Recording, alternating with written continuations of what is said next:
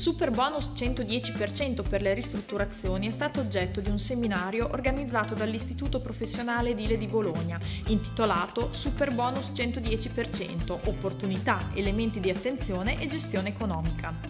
L'evento ha visto la partecipazione attiva di professionisti ed esperti di diversi settori che hanno fatto il punto sulle agevolazioni fiscali per gli interventi di efficientamento energetico e sismico degli edifici, contenute nel decreto rilancio, e si è svolto nell'ambito del progetto europeo di ricerca Innoveas di cui IPLE è capofila, finalizzato allo sviluppo di misure di efficientamento e risparmio energetico nelle piccole e medie imprese.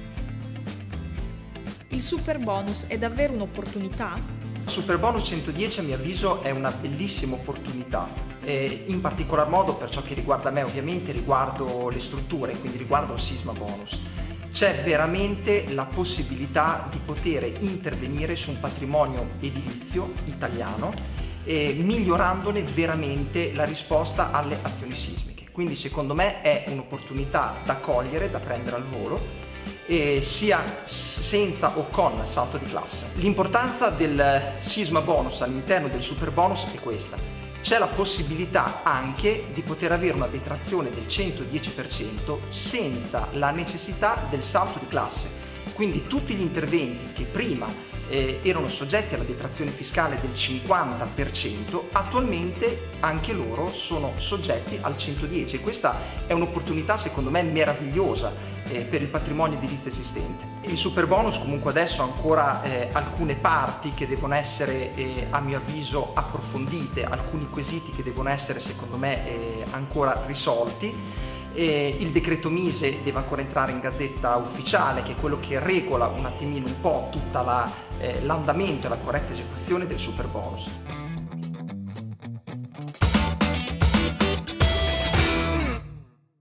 Come se esistessero due partiti ad oggi, il partito del super bonus e il partito del super malus. Eh, il partito del super bonus dice che l'intervento sarà a costo zero, che ripartirà la filiera delle costruzioni,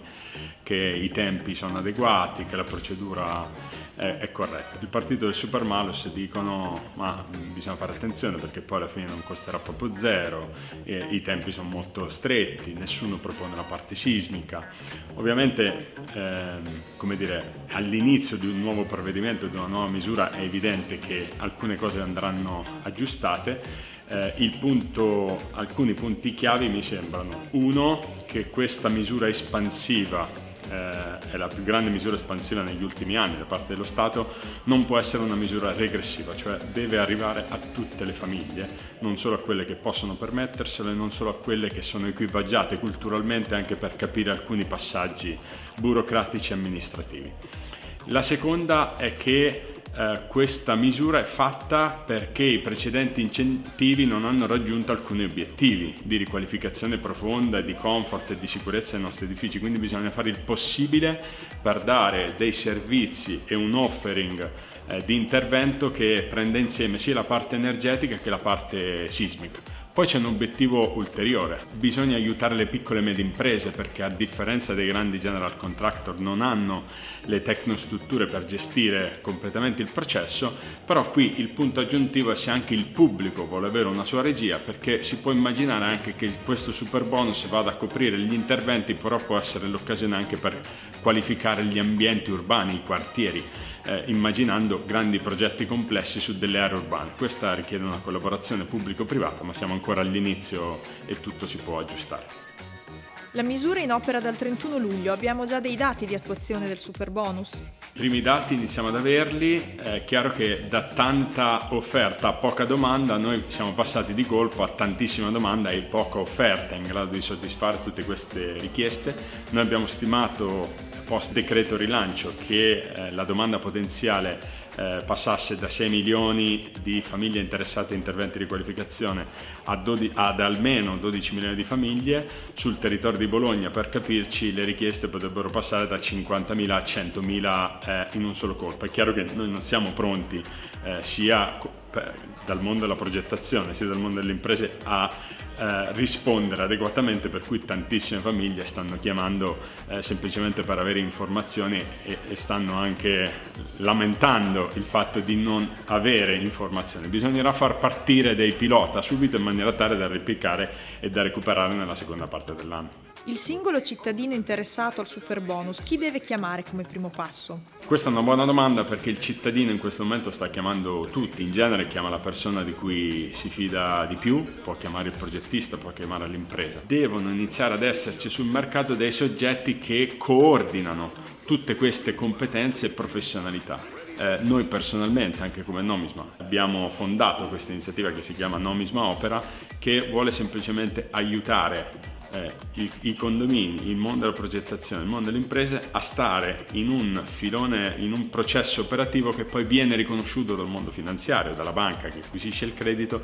e quindi garantisce il condominio che poi alla fine quell'intervento è davvero eleggibile a, a super bonus. Ecco, la cosa che il cittadino deve fare è chiamare la persona di fiducia, ma questa persona di fiducia deve sapere che si deve aggregare dentro processi operativi o di alcuni grandi general contractor o di general contractor che si stanno organizzando sui territori.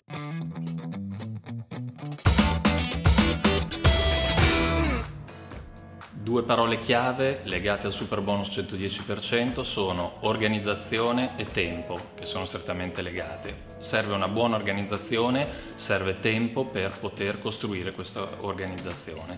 Le imprese si stanno attrezzando, gli amministratori di condominio si stanno formando, eh, i professionisti stanno studiando, escono gli ultimi chiarimenti, stiamo tutti auspicando che questa misura diventi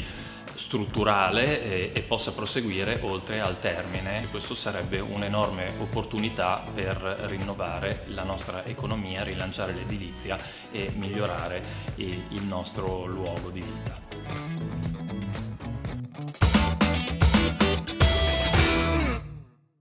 La pianificazione eh, pubblica prevede interventi consistenti sul residenziale quindi il nostro ruolo in questo momento è proprio quello di cercare di far capire alle persone, aiutarle, eh, facilitare il percorso di comprensione di quello che è il super bonus. Professionisti, imprese, finanza, eh, commercialisti, insomma devono lavorare insieme per dare una risposta in realtà per il momento in tempi brevi, proprio perché al momento eh, si rischia anche di avere tutti questi interventi di riqualificazione concentrati appunto in un anno. Fondamentale secondo me in questo percorso sarà la qualità dell'eseguito, i lavori in sicurezza, il rispetto dei criteri minimi ambientali, quindi in realtà questa rivoluzione dal punto di vista finanziario eh, si innesta in una rivoluzione che è quella poi ambientale.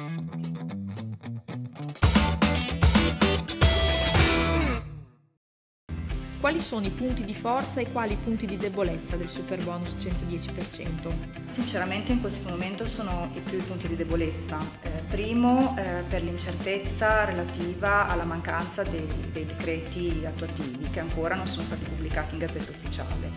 Poi la grande confusione nei condomini che eh, si dividono in due fazioni, alcuni temono i lavori, altri invece spingono eccessivamente per fare i lavori anche prima di sapere esattamente a cosa andranno incontro. Grande difficoltà nella convocazione delle assemblee perché in epoca Covid convocare assemblee significa creare eventualmente assembramenti e quindi grande difficoltà per noi amministratori soprattutto nei condomini più grandi.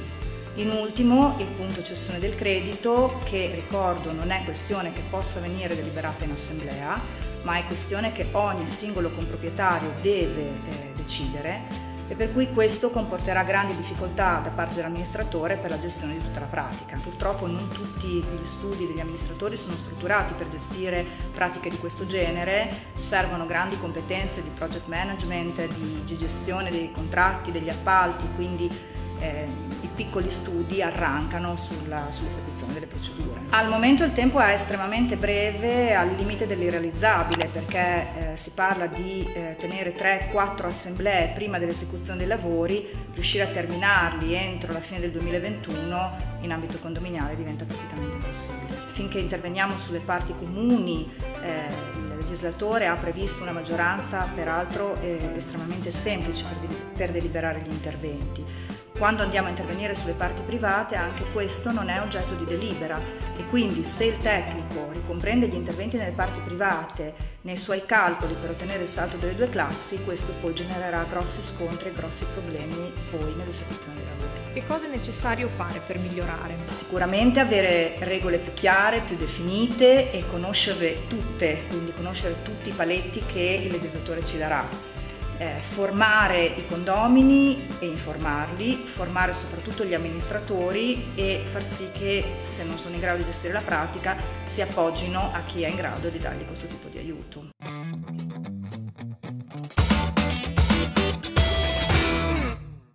Noveas è un progetto europeo finanziato nell'ambito dell'Horizon 2020 in cui IPLE è il coordinatore. È un progetto che è pensato per le piccole e medie imprese, persegue l'obiettivo appunto di accrescere la consapevolezza e appunto favorire l'acquisizione di competenze nel campo degli audit energetici, quindi come prerequisito per partire ed attivare interventi di miglioramento e poi appunto l'attivazione di questi interventi di miglioramento. Il progetto quindi punta ad attivare dei processi di empowerment, di costruzione delle capacità all'interno delle imprese di migliorarsi. Tutta questa attività quindi mira a formare eh, persone delle imprese in aula e anche in azienda e a tirare fuori delle modalità formative innovative che testeremo in pratica con eh, chi vuole partecipare e lo fa in maniera volontaria senza spendere nulla e poi sperando di riuscire a ripromuovere queste attività.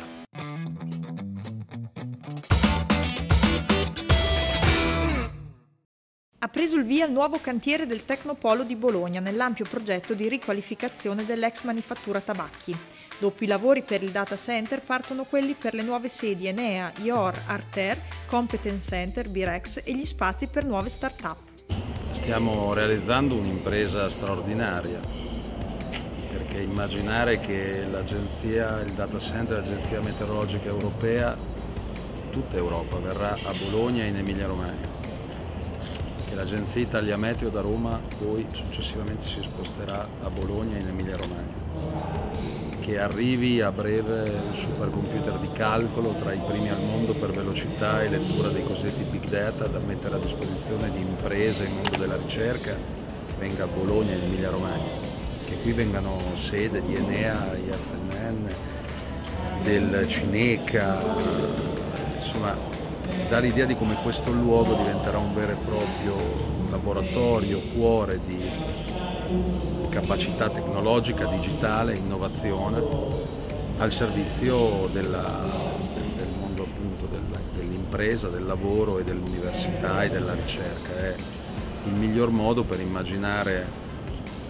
eh, ciò che serve a questo paese, a questa regione, per competere con i territori più avanzati d'Europa e del mondo in futuro e poi insieme vi è anche un recupero di una porzione di città, qui la collaborazione col comune di Bologna, che porterà a un progetto vero e proprio di rigenerazione urbana perché si ridà vita a luoghi che erano abbandonati, seppur già urbanizzati e degradati e quindi diventa anche un pezzo di cucitura di una frattura urbanistica nella città e quindi anche questo pezzo va nella direzione di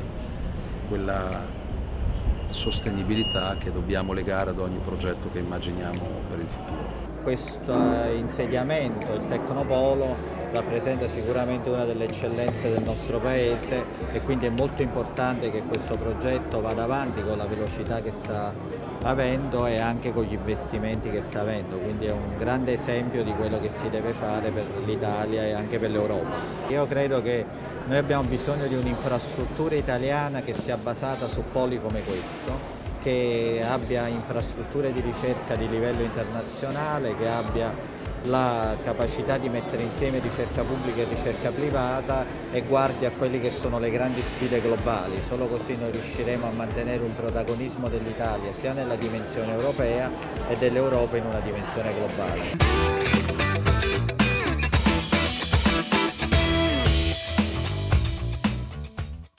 Sono sempre tanti e incentrati su varie tematiche i corsi a cura di IPLE che si svolgono in completa sicurezza. Ve ne segnaliamo alcuni in sovraimpressione, ricordandovi che il sito www.edili.com è sempre aggiornato e consente di seguire le attività e i progetti dell'Istituto Professionale Edile, di iscriversi ai corsi e avere maggiori dettagli e informazioni su qualsiasi tema che riguarda il mondo delle costruzioni. Inoltre, ricordiamo che sul sito è attiva una sezione dedicata all'emergenza coronavirus, con documenti e informazioni utili per la gestione del lavoro in cantiere. Potete seguire l'Istituto Edile anche sui social Facebook, LinkedIn e Instagram e rivedere le nostre trasmissioni sul canale YouTube.